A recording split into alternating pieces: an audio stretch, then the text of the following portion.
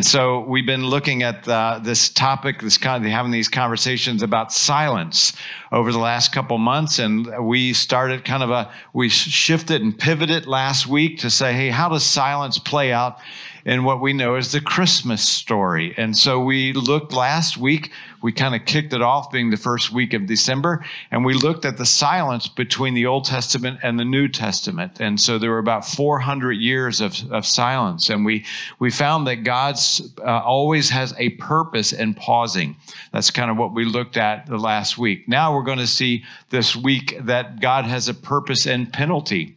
God sometimes has a purpose in punishment. And we do begin with John the Baptist because John the Baptist is woven into the Christmas story.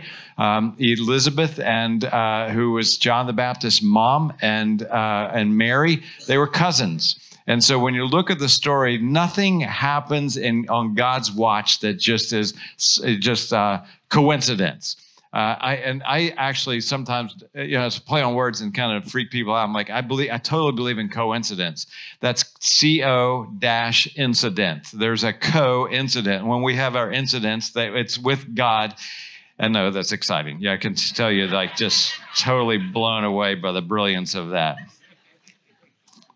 We begin today, and we're going to park in Luke chapter 1, where we see kind of the backdrop of John the Baptist, and we're going to look at his father, Zechariah, today. So we find in John or Luke chapter 1, verse 5, in the time of Herod the king of Judea, there was a priest named Zechariah who belonged to the priestly division of Abijah. And his wife Elizabeth was also a descendant of Aaron. All those details are important. We're not going to get to them today. We could, but we we're going to it's just it's not just circumstance, it's not happenstance, I should say. Both of them were upright anchors as we looked last week. When there's a pause, God is looking for anchors, for those who are steady, that are not, not blown back and forth by the wind, that not that don't get miffed off so easily and just uh, they're all here and there. They're anchors. If you remember in the book of Genesis, God looked for a man that was an anchor. He found Noah. He was an upright man. He's looking for someone. Upright doesn't mean perfect. It means that you are looking upright. in other words, you're living your life in such a way that you are connected, you're solid, you're an anchor with God. Both of them were upright in the sight of God. That means Elizabeth and Zechariah observing all the Lord's commandments and regulations blamelessly. They had no children because Elizabeth was barren and they both were well along in years. It might remind you of the Abraham Sarah story, right? So here's an older couple, and they have they have no children. That's the backdrop. There is a there he's in the a, they're in the a certain lineage, and uh, Zechariah is a priest. Okay, we want everybody to to to, uh, stay tuned. Here comes the encounter. Like many encounters in the Christmas story, an angel arrives, and we'll, we know by the story that this is the angel Gabriel. This is not Gabriel's uh, premiere here. Gabriel showed up in the book of Daniel in the Old Testament, so we know that angels have much of a uh, more of a lifespan than human beings. They're scan, they span over. They are endless, infinite beings, and so we see them in the book of Daniel, Gabriel, and we see him now here with Zechariah. We continue in Luke chapter 1, verse 8. Once, when Zechariah's division was on duty, they, they had kind of a rotating uh, schedule, and he was serving as priest before God. Watch this. He was chosen by Lot. In other words, they said, hey, we're going to kind of pick, like we would say the lottery, you know, for a school or something like that, we're going to pick. And again, we could look at that like, wow, lucky dog, he just got picked that day. Nope, that's not how God works. God maneuvers in these circumstances, and we're going to see how important that is coming up. He was chosen by Lot, according to the custom of the priesthood, to go into the temple of the Lord and burn incense. Now, that's just one of the duties that they had uh, uh, uh, that represented kind of prayer for the priest. Verse 10 And when the time for the burning of the incense came, all the assembled worshipers were praying outside. This was a praying church, so to speak, a praying gathered of people because God was about to do something. Then an angel of the Lord appeared to Zechariah standing at the right side of the altar of incense. When Zechariah saw him, he was startled and gripped with fear. Have, do you notice a pattern there? Like the shepherds out abiding in the fields, and the angels came up, and lo, they were freaked out. That's uh, that's the original Greek. They were uh, they were they were as we would, by the way, right? Let's say you're in your walk-in closet, and all of a sudden an angel is standing right there. You like you know you'd be gripped with fear. But the angel said to him the same thing the angel said to the shepherds: Don't be afraid, because here comes heaven there's that theme again. Don't be afraid because something great is about to happen. Don't be afraid, Zechariah. Watch. Your prayer has been heard. What prayer?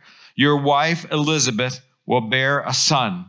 In other words, they must have been praying for a long time to have a child. Your prayer has been heard. Your wife Elizabeth will bear a son, and you are to give him the name John, which was an unusual name for the way they named people back then. And, and so when you look at this, you think, oh, they must have been waiting and, and just asking God. And I wonder, I just wonder, at one point, if they got to a certain age, they just maybe they gave up. But you see, God doesn't give up when we give up. I don't know what time, uh, you know, uh, at what year they said, you know, I don't know if it's going to happen. And God said, I haven't forgotten you. There are times when we're asking God, we're asking God, we're asking God for something. And God said, Don't give up. I'm not done yet. And so their, their prayer was answered. Then Zechariah in verse 18 asked the angel, How can I be sure of this? A question that anybody would ask, especially at that age. How is this going to happen? It doesn't make sense. Watch this. He's a wise man, this Zechariah. He says, I am old and my wife is, well, well along in years. Men learn. Look and learn. Notice he didn't say, hey, I'm well along in years and my wife is old. You, you, you, got the proper order there, right? When you look at this question, you have to say, well, you know, Abraham asked the same question. Wait a minute. I'm well, I'm, I'm an old guy. How can this be? Sarah actually heard, overheard the conversation between the Lord and Abraham, and she laughed. When God told, communicated to Mary, you're going to have a, a baby, even though you've not had a relationship with another man, a man at all, and you're going to have a baby. She kind of said, Hey, all right, can you kind of break this down for me? It doesn't make sense according to my biology class in the seventh grade. You know, how does this all work out? So when you look at all of those that ask questions, it feels odd to us what happens next. The angel answered and said, I am Gabriel. I stand in the presence of God, and I've been sent to speak to you and tell you this really, really great news. And now you will be silent. And you will not able to speak until the day this happens because you did not believe my words, which will come true at the proper time. So I'm when I'm reading this just as a normal, regular old guy, human being, I'm like, that doesn't seem quite fair, does it? How come Abraham wasn't silenced? How come Sarah, she, it seems worse than this, she started laughing at the whole thing. How come she wasn't silenced? How come Mary wasn't silenced when they all questioned something that's miraculous? And here's what I would say to you, and the inf- the very uh, finite, I almost said infinite, the finite knowledge and uh, that my brain can handle. As I read the scripture, what I find is that God's discipline is customized to each of us because only He can read the heart and know what we need. Let me give you some examples. When the rich man came to Jesus, he said, Sell everything you got. He doesn't say that to all of us, but he knew this man's heart was gripped. There are many people that have great wealth that help that, that advance the kingdom of God. That was true in Paul's day, Jesus' day. There are people that have used their means to advance the kingdom. God has blessed them, they use it. But this rich guy See, he didn't know how to do that, and he was gripped with greed. Zacchaeus cheated people. When he came out of the house with Jesus, he said, I'm to make things right. I'm going to pay people half back what I've cheated them. I'm going to give them great interest on what I cheated them. See, that was customized to him. When Martha was was kind of uh, scolded a little bit by Jesus, girl, you're overloaded. You could have microwaved something and you did the whole Martha Stewart thing. You didn't have to go that route. We could have done a potluck because see, I'm in your house and you've ignored me because you've been in the kitchen. See, that was customized toward her. In other words, God is God and he can always be God and we can never question him, but there's something that Zechariah needed that day and it was silence. It was in, he he needed some thoughts, but I think there's some bigger picture things that are happening here. Here's the thing that I want to propose to you today. Because I think it's this is where it's like, okay, a lot of history and like I can't even keep up with the characters and all that. I get that. But here's where I think it's important for you and me as we walk this Christian life, because otherwise, watch, if you don't get this, you'll be sour towards God. You'll be sour towards God. I know it. I've had sour chapters in my life. Perhaps God's punishment is actually a present. Perhaps God's Christmas punishment here is a Christmas present that the penalty is a gift, that the discipline is actually something that you that everybody needs. Here's why I say that. When we look in Proverbs chapter 3 verse 11, my son do not despise the Lord's discipline and don't resent his rebuke. Because the Lord disciplines those he loves as a father the son he delights in. The Bible is very clear. If you have a child and you're not willing to discipline, you're not loving that child as that child needs. Now, if anybody in the room has more than one child, you'll know that you cannot cookie cutter discipline. It is very, very different. I have two sons, very disciplined, very different discipline through the years. One's 18, one's 19. So, you know, we're getting past the, the, all those years of, of needing to, to do that. But in those growing up years, there were there there was a totally different way of disciplining, and that was customized to what each son needed. In the same way, God says, I need to talk to, I need to speak to Zechariah and say, You're going to be silenced. And the discipline that he has for him is something bigger. In addition to that, God is always bigger than the circumstances. We know that. But more than that, specifically today, God is always doing something bigger than the circumstances. I want to repeat that.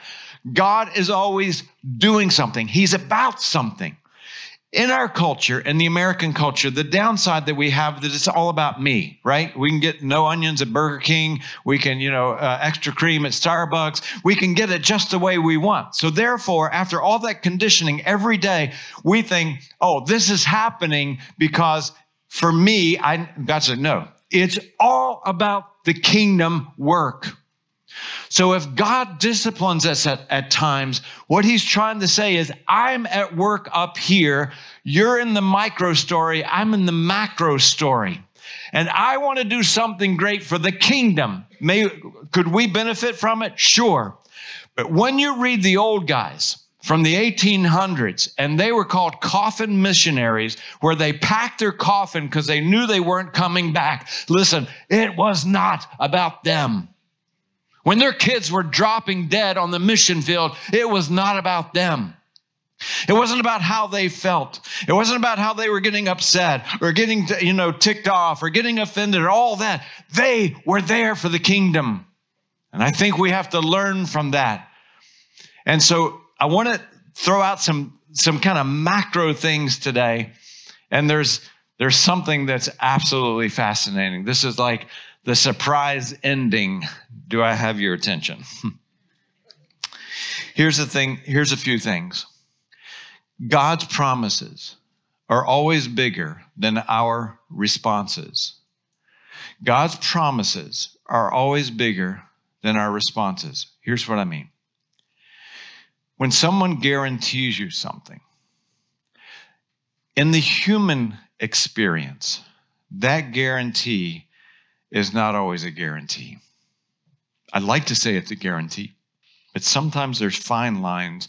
There's this, that, and the other. So, you know, I ordered something on Amazon and it never arrived.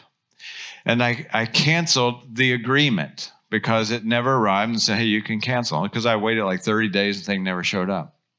So I canceled it. They sent me an email. They said, hey, congratulations, you've canceled your order. The problem was I didn't get my money back. If you didn't get your money back, contact the seller. So I contacted the seller. This is not my $22 shoes. I know you're wondering that for some of you. I got the shoes and I'm going to wear them and I'm going to show you. And you'll be ashamed that you didn't get them. So, no. I contacted the seller. You know what the seller said? You got to contact Amazon. I contacted Amazon. They said, you know what? You got to contact the seller. I contacted the seller. They said, you got to come. You know, so I lose because the agreement was broken, even though it's in writing even though it's clickable. You can click here, cancel, and you, you click here and you get your money back. But we're used to that in life.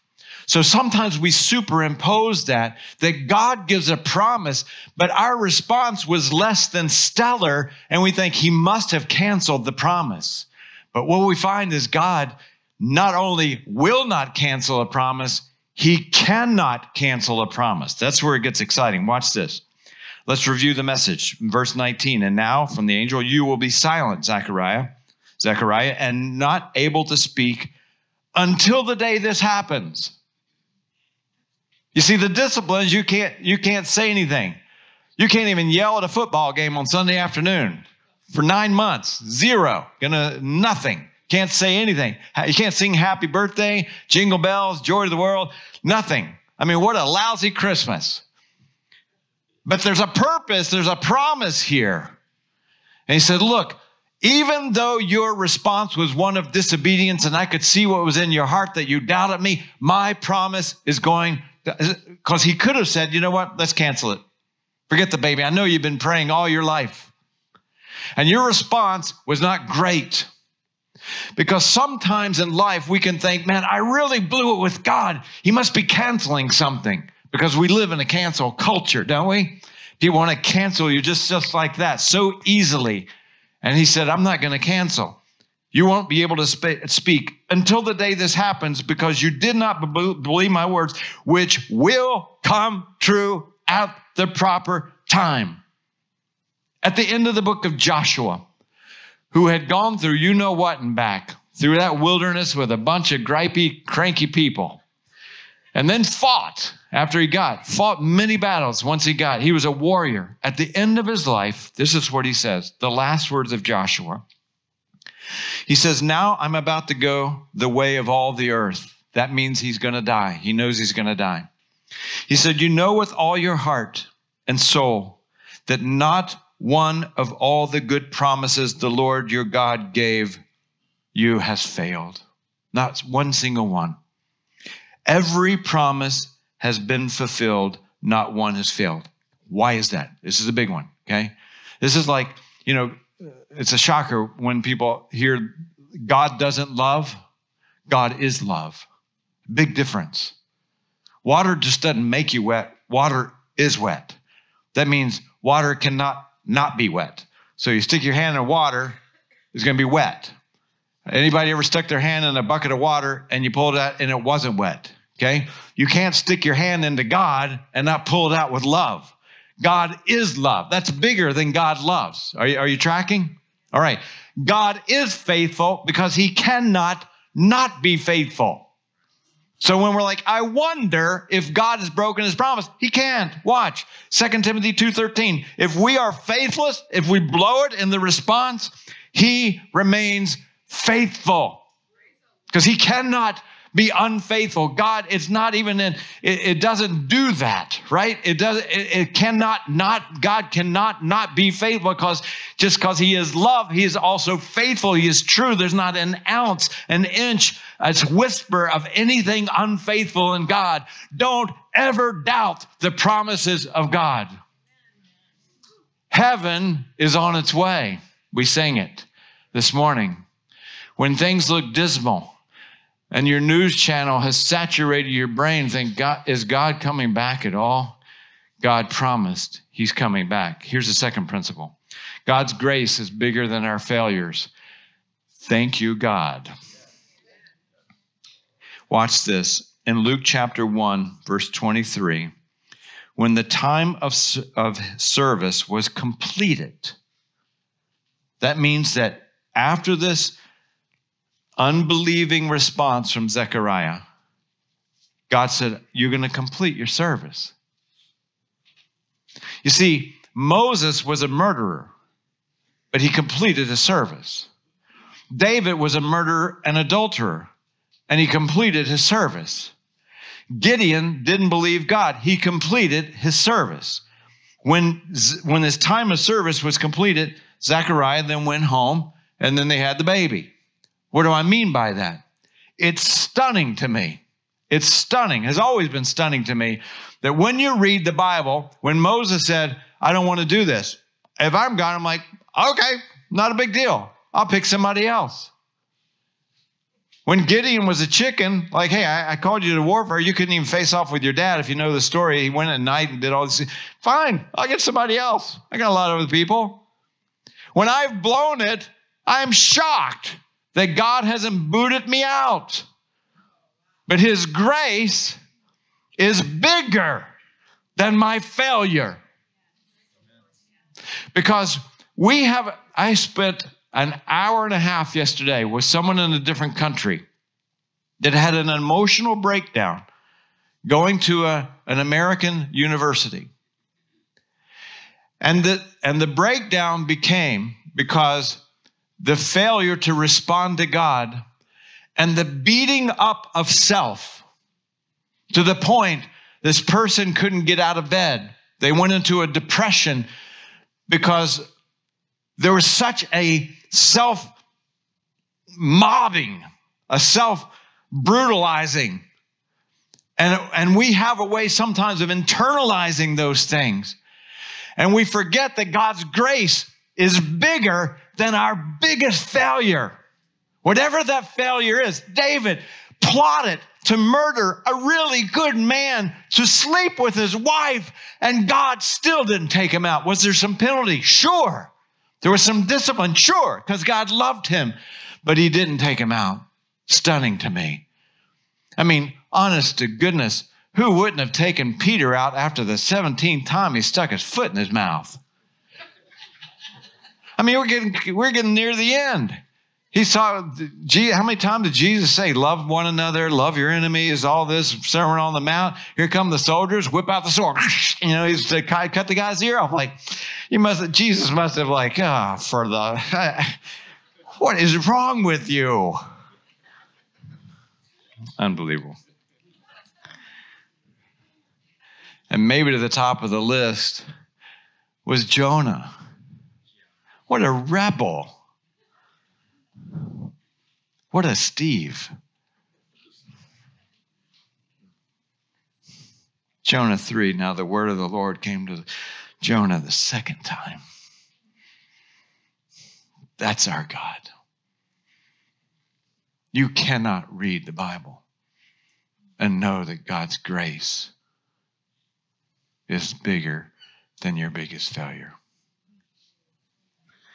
Here's the final one. Good for us. God's purposes are above everything. His purposes are above everything. I had a leak during Hurricane uh, Ian. And uh, I called Eric. Uh, anything happens, I call Eric. Uh, yeah. Uh, my son's car was overheating on the highway yesterday. I call Eric. I know where the key goes. That's my knowledge of cars. So I called Eric and uh, talking through, okay, what do you do? What do you do? What do you do? So anyway, Hurricane Ian, I go out and I look uh, up at my garage ceiling and I, the whole like deal is like water, you know, dripping. There's a million drips coming through my drywall. And uh, I, I, so I, I call him and he goes, "Oh, let me come over." He came over during the hurricane. See why I call Eric? Uh, I'm going to put his number on the screen in case you guys want to call him or anything. And he said, Hey, man, you got to poke a hole in your drywall and let that water out. And so I did. I poked a hole and uh, poked it through the wrong one. No, I'm just kidding. I'm not that stupid. But I, I poked it, you know, and the water boy just came out and probably saved the, you know, the whole thing from collapsing. And so, you know, I got to fix the roof and this, that, and the other. And had a guy, and I'm just like, oh, geez. And kind of came out and, he, and they looked at it, saw a friend in a, in a, uh, uh, jewelry store. He goes, Hey, pardon me, I got to take a call. I'm a roofer. I'm like, sorry, did you say you're a roofer? Help help me through the thing, insurance, all that jazz. And the guy came out and said, Hey, let me look at your roof. He went up there and goes, Man, you got so many broken tiles up here. The hurricane just did a number on your roof. They're those clay tile things. And uh, he said, Hey, let me, here's, uh, let me call the insurance company for you. He called the insurance company. Insurance company came out and uh, he said, Man, if this is this kind of tile by a company who went out of business 10 years ago, we're going to have to replace your whole roof. And I'm like, okay, that's that's awesome. Is it too late to take the kids' Christmas presents back? Just kidding. Because I know how to cancel on Amazon now, by the way. He said, Well, it's only going to be your deductible in a category hurricane. They can't raise your rates. So actually, you're getting a whole new roof. For, I'm like, That's what I'm talking about. That may be the best deal I've ever had in my life. Do I have a tear running down my face? Sometimes, in the worst kind of scenario, maybe you're going through a divorce. Maybe you've just lost a loved one. Maybe you just got a bad health report.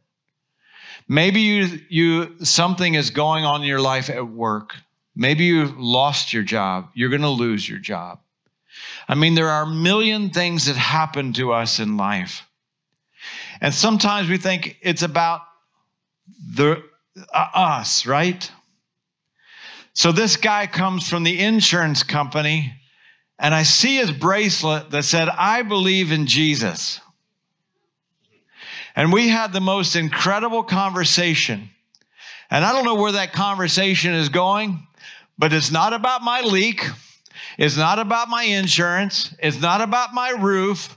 It's not about my grief over how much I'm going to pay. It's not about any of that.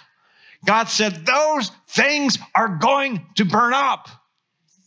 It's about the kingdom movement, about the kingdom movement always. So when we have, when we're disciplined or things are not going our way, we're not going to blame God. We're not going to question God's promise. They're going to come true. We're not going to question God's grace because it's bigger than whatever is happening. And I promise you that whatever is happening in your life, and there's not, a, we're all humans, so we all got human junk happening all around us like a radar, you know, this beeping all around us.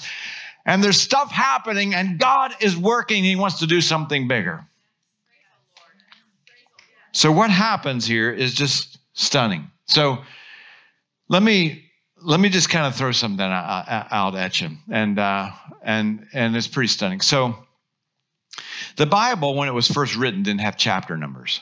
Okay. It didn't have verses and all that. That really didn't come into play until like the 1200s.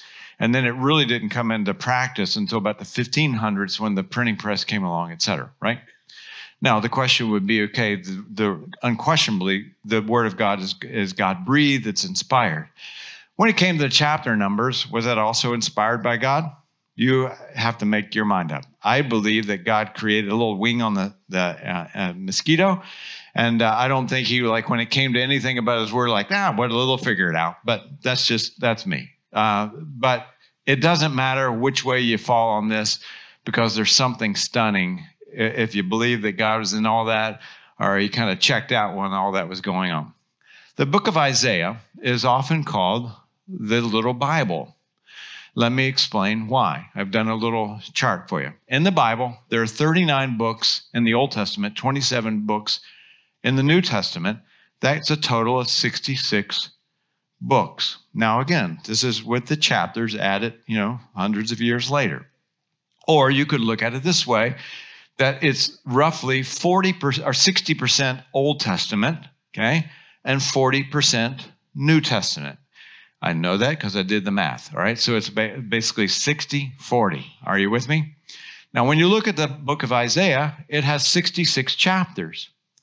39 of those chapters are uh, more judgment oriented. And so the 27 chapters, they're more comfort. Now, maybe this is just a coincidence. Even if you don't buy into the whole chapter thing, okay, well, those chapters came later. Okay, it's still 40, 60%, and 40%, okay? So then, if you look then at the next slide, then the first book of the New Testament then would be the 40th book of the Bible. Are you tracking? 39 in the Old Testament. For you turn to the from Malachi, 39th book. You turn to Matthew, it is the 40th book. All right. So the 40th chapter of Isaiah then comes here. So watch this. When you go to the next one, the 40th chapter of Isaiah begins with the words as it's opened in the New Testament, which are the words of John, about a voice of one calling in the desert, prepare the way for the Lord, make straight in the wilderness a highway for our God. Now, let's say you don't buy into the chapter thing. That's fine. Get out. Now, moving, no, I'm just kidding. It doesn't matter. Because watch, if even a 60%, 40%, I'm going to make a point here, other than this is super cool, right? Isaiah chapter 40, are, we're coming into the book of the part of the comfort, starts with these words Comfort, comfort my people. What I'm saying to you is this that the details of Christ in the scripture are stunning. And many religious books of other faiths are written by one person.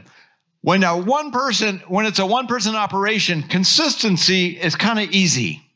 I've written a number of books. It's easy for me to be consistent with myself.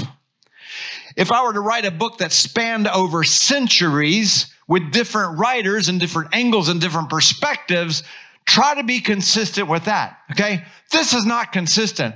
This is miraculous. There's a difference. So when we get to this place, what we're seeing is something amazing. So as we begin to see Isaiah, the, the, starting in the last half, the 40%, it starts with the exact same words of John the Baptist. Okay, if you're not impressed, because I can see that all of you are not yet, here comes more. The last, in the last book of the Old Testament is Malachi.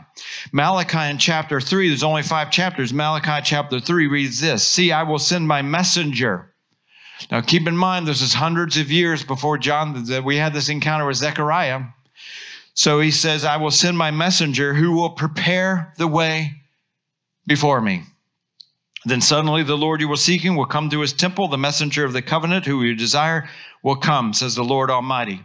Now, the last chapter of the last book of the Old Testament reads like this See, I will send you the prophet Elijah before the great and dreadful day of the Lord comes. He will turn the hearts of the father to their children and the hearts of the children to their fathers, or else I will come and strike the land with a curse. Christ came to take away the curse. Gabriel's message in Luke chapter 1, verse 13 to Zechariah says, Your, your wife, Zechariah, and Elizabeth will bear a son, and you are to give him the name John. He will be a joy and give and delight to you. And many will rejoice because of his birth, for he will be great in the sight of the Lord. He is never to take wine or fermented drink. He will be filled with the Holy Spirit even from birth. Many people of Israel will bring back to the Lord their God, and he will go on before the Lord in the spirit and power of Elijah to turn the hearts to the fathers to their children, and to the disobedient to the wisdom to the righteous, to make ready a people prepared for God. That is not a coincidence, that's a miracle. So God, so the, the angel Gabriel is talking to Zechariah about something that's going to happen that's kind of already happened in God's sight that he predicted to the very detail of what even was going to be said. You cannot stop the purposes of God. They're already, that's universal language for screwed in. they're, they're tight. You get it? We are God's workmanship. You are God's workmanship, created in Christ Jesus to do good works, which He has prepared in advance so that we might walk in them. Whatever is happening to you did not escape the eyes of Christ. Whatever has happened to you is already part of big, God's bigger plan. Maybe not the plan for you. It's not about my stupid roof. It's about what God wants to do and the connections that He wants to make and advance the kingdom. We get our eyes off this and we put them upright, and all of a sudden we begin to see miracles. And finally, when He opened His mouth, we close with these words Zechariah, who had been silenced for nine months, speaks to his own baby boy, John, and says, And you, my child, will be called a great pro- a prophet of the Most High, and you will go on before the Lord to prepare a way for him. Here comes heaven. See, the Christmas story teaches us that God is in control in 2022. We can't lose sight. Let me pray with you. Father, thank you for the stunning miracles of the Word of God. Thank you, Father, that as life tends to miniaturize great things and make us put gravity on our life to look down, you are looking for upright men and women. You're looking for those that look up in the right way. Every single human being, whether they're sitting in this room or they're sitting at home or listening in their car or at work or wherever they might be, every single one of us, God, has times where we need discipline. And we're thankful, thankful, God, that we have a customized relationship with you if we have exchanged our old life for Christ's new one. We pray, God, during difficult times that we'll never forget your promises are bigger than whatever response we've given. You cannot be unfaithful. You just can't. Somebody needs to hear that, God, today. Somebody in this room or at home needs to hear that your grace is bigger than our failure, than our biggest, greatest, worst failure. That your grace is bigger. Someone needs at home or here today to know that when Christ died, it wasn't just a historical thing of the past. That Christ forgives, that Christ loves, and that goes east and west, north and south, past and present, and future. That whatever failure we will commit, whatever failure we have committed, whatever sin, Christ can cover it all. And grace. Someone, God needs to hear that today. And whatever is happening, God, in our lives, your purposes are bigger than everything. Someone needs to hear that today. We bow our knee, God to you in absolute wonder. Thank you, Father, that nothing skips your attention. Nothing is, is wasted. No human life is wasted. No human life is left unpursued. So, as we close this time of prayer, we think of those who are trying to figure this whole thing out. And it's a big thing to figure out that relationship with you, God. Sometimes we think it's going to a church or a synagogue or a mosque. Sometimes we think it's trying to be as good as our neighbor looks or trying to obey the golden rule and be nicer and try to, to, to change habits and behaviors. And the problem, God, is it just keeps making it worse because we're humans. And then we hear the good news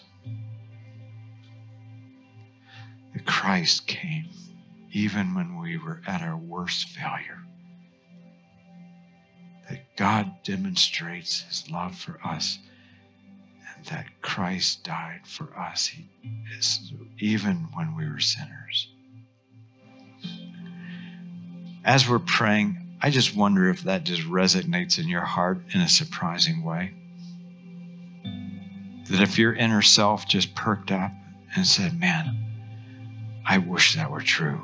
Listen, it is true. God cannot be unfaithful. Have you ever exchanged your old life for Christ's new one? I'm not talking about trying to be better, trying to get your act together, trying to come to church more often. I'm saying between you and God right now.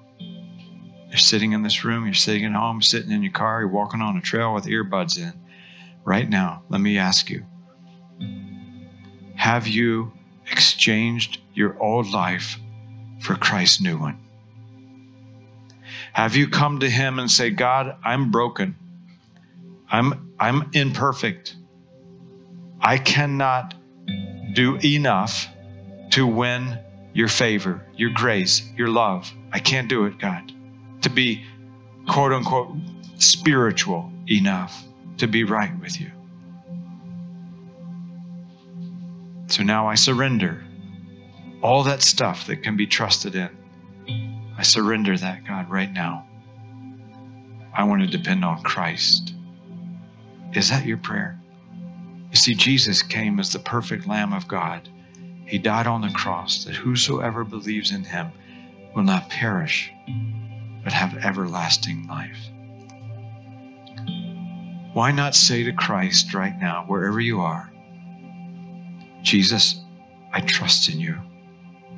I put my faith, my allegiance in you. I'm not going to trust anything or anyone else for my right relationship with God. And I want to be okay with God. I want to be right with God. Listen, Jesus died. He'll cover your sin, He'll forgive your sin. And you stand before God because of what Christ did as if you've never sinned. He's asking you to turn your life 180 degrees around and just fall on Him and exchange your old life. You've led your life long enough. You've led your life long enough. It's time to give your heart to Christ alone. Oh, speak to Him right now. You, your words, His heart. Your words, His heart. God, forgive me for all my sin. I, I give you my life. I turn it in in exchange for your new one. God, here I am, a sinner in need of your love. I put my faith in Christ. You speak to him. Exchange your old life for Christ's new one. I want to be a child of God. I'm asking your new life ignite in me. God, something new. We're so grateful, God, for gathering together. It's important. We, we sense the importance of it. So we thank you for this morning, for what you're doing, for what you're speaking to us about, uniquely, customized. We love you back, God. You are our hope. Here comes heaven. You give us that hope. In Jesus' name, amen.